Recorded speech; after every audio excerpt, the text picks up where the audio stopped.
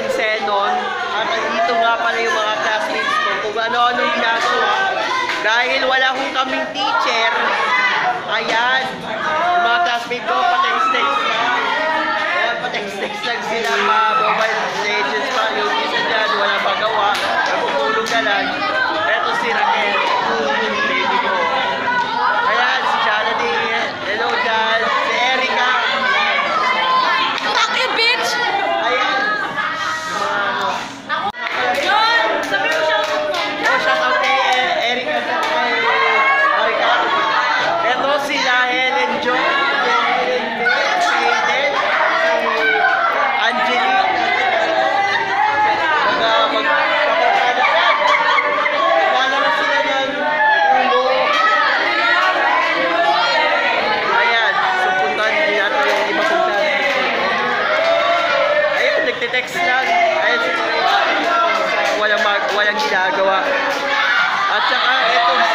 wala din ginagawa.